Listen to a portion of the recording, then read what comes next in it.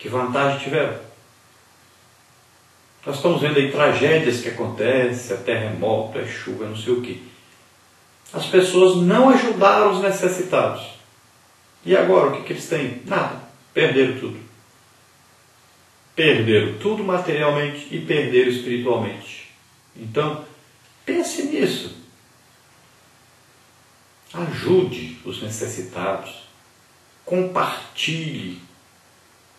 Você está bem financeiramente? Ajude aquele que está mal, aquele que está passando necessidade. Ajude para que mais tarde você também não tenha que ser ajudado.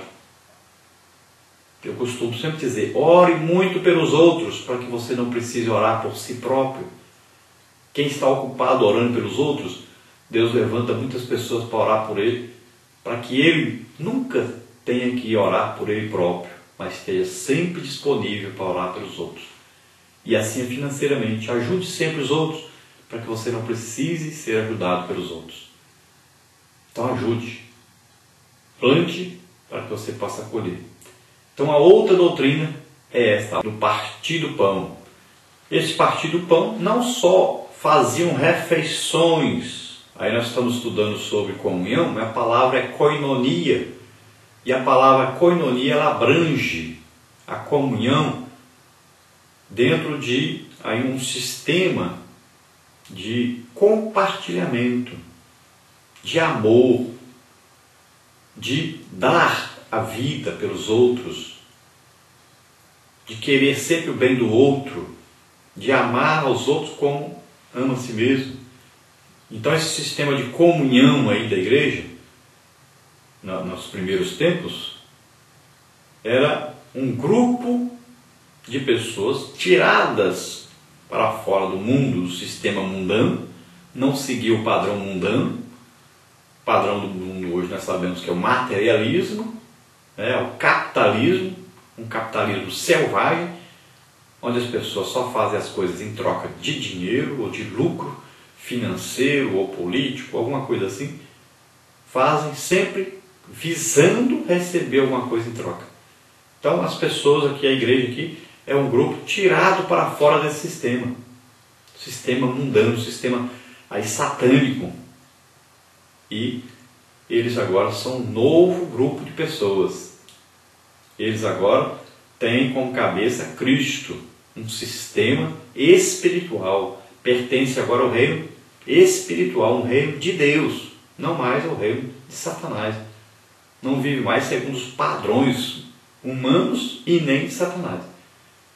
Mas agora eles seguem a palavra de Deus. Eles vivem unidos pelo amor de Deus. Eles vivem unidos pelo Espírito Santo. E eles então compartilhavam suas refeições também, comiam ali traziam aquelas pessoas que não tinham que comer ou que comiam muito mal. Então se ajudavam uns aos outros.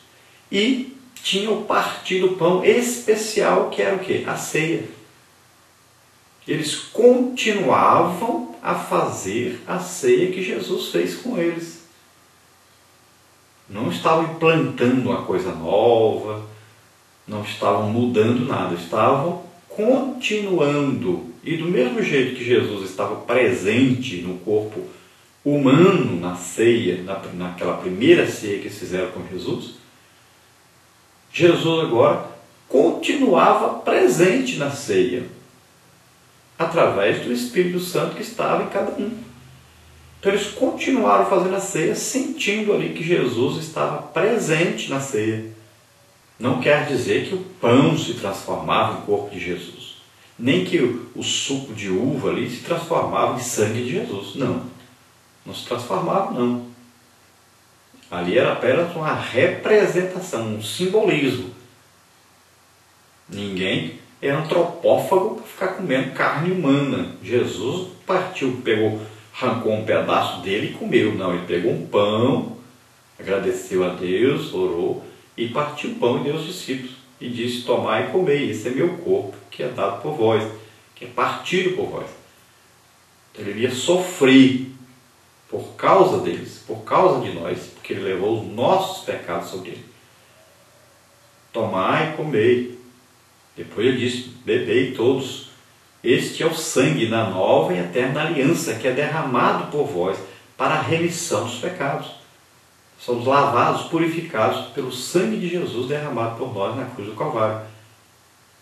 Mas Jesus não pegou e cortou o braço, tirou o sangue e deu para os discípulos beber, não. Então, é um simbolismo. E a ceia é uma doutrina dos apóstolos que nós devemos seguir. Então, esse partir do pão, aqui, não só comiam, ajudavam aos outros nas refeições, a ter todos o alimento, mas agora aqui participavam da ceia. A ceia é um, tem um simbolismo muito grande de união, de paz, de obediência ao cabeça do corpo, à cabeça do corpo que é Cristo.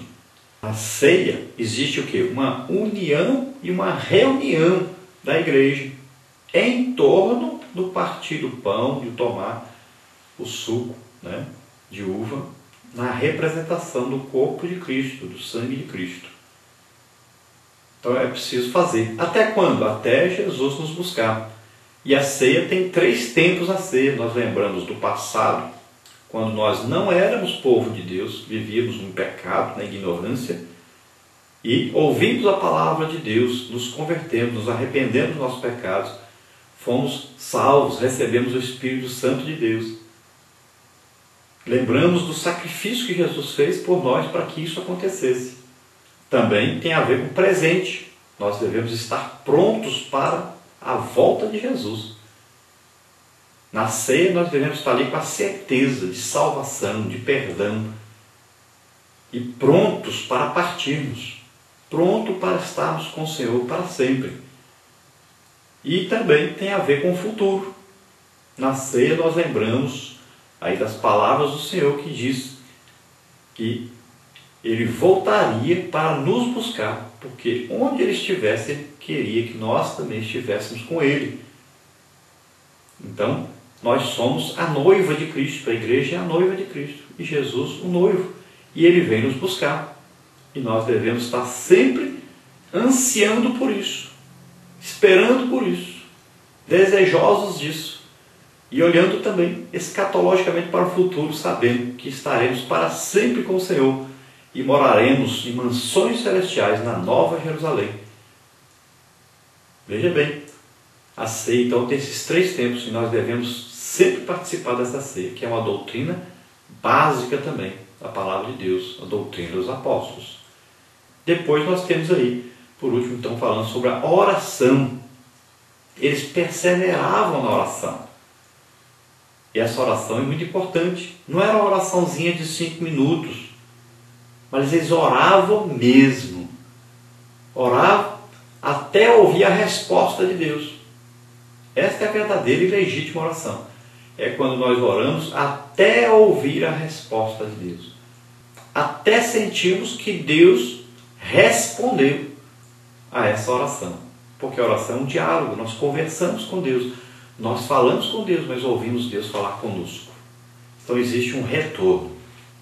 Olha, nós vemos aí o resultado. O resultado de quê?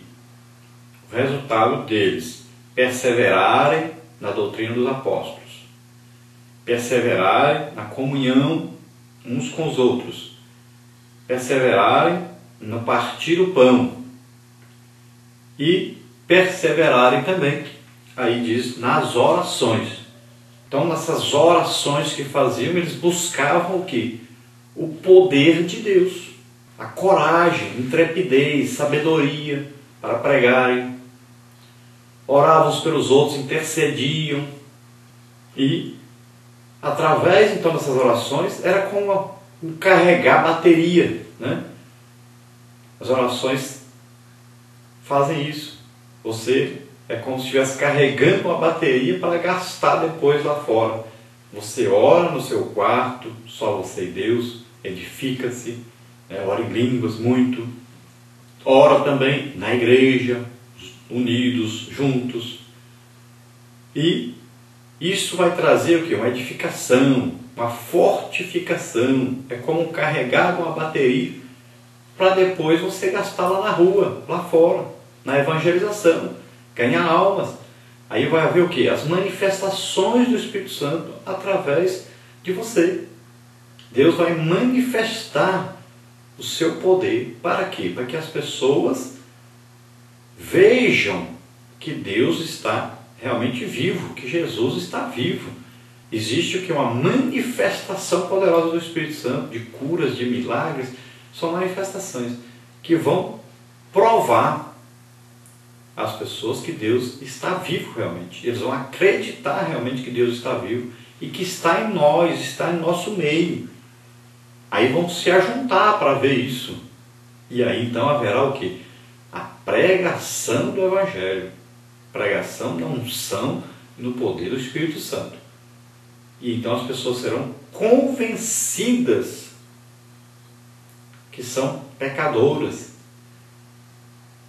que existe uma justiça de Deus que não vai lançar no inferno aqueles que acreditaram em Jesus.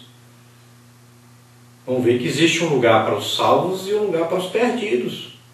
A justiça de Deus. Nós somos justificados porque aceitamos que Jesus morreu em nosso lugar pelos nossos pecados. Então, vão ser convencidos que existe uma justiça de Deus. E também vão ser convencidos que existe um juízo, então, preparado para aqueles que não aceitaram Jesus como Senhor e Salvador. E que existe um lugar preparado para aqueles que aceitarem Jesus como Senhor e Salvador. Então, a pregação do Evangelho é feita e as pessoas se convertem. É assim o padrão bíblico.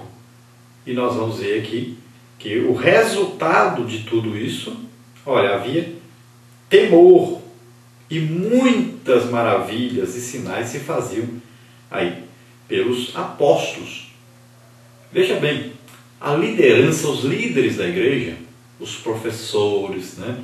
aí entra os diáconos, presbíteros, evangelistas, pastores, né? os líderes em geral, de departamentos, todo, liderança, eles devem ir à frente do povo. Não é mandar o povo ir ficar olhando, não. Eles vão à frente, eles servem de exemplo para o povo. E Deus vai operando sinais e maravilhas. E as pessoas vão se convertendo. E o povo vai vendo e vai desejando também que seja usado daquela maneira. E aí Deus vai usando mais, mais e mais pessoas. E o Evangelho vai sendo pregado. Olha, se a igreja andasse, marchasse do jeito que a Bíblia ensina, não haveriam mais essas religiões aí dominando o mundo, como existem essas religiões pagãs, religiões terríveis, dominando o mundo inteiro.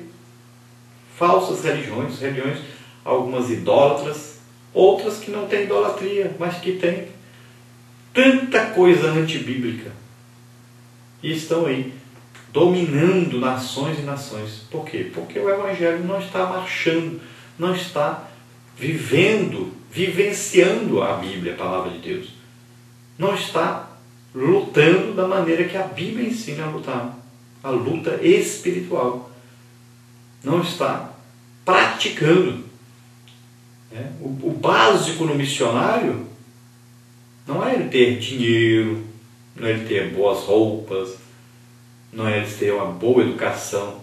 O básico no missionário é que ele saiba que realmente Jesus faz milagres, que ele tenha coragem de pregar e impor as mãos para as pessoas para que hajam milagres, para que aconteçam milagres e maravilhas. É o básico no missionário. E aí então ele vai pregar a palavra de Deus e as pessoas vão se converter. Mas é preciso fazer do jeito que a Bíblia ensina. Então devemos preparar os nossos missionários mais espiritualmente do que intelectualmente. Porque Pedro, João, Tiago, eles não eram entendidos intelectualmente. Mas a partir do momento que eles conheceram Jesus, a partir do momento que tiveram contato com Jesus, intimidade com Jesus, eles foram aprendendo. E depois que Jesus morreu, ressuscitou, o Espírito Santo então foi lhes dando sabedoria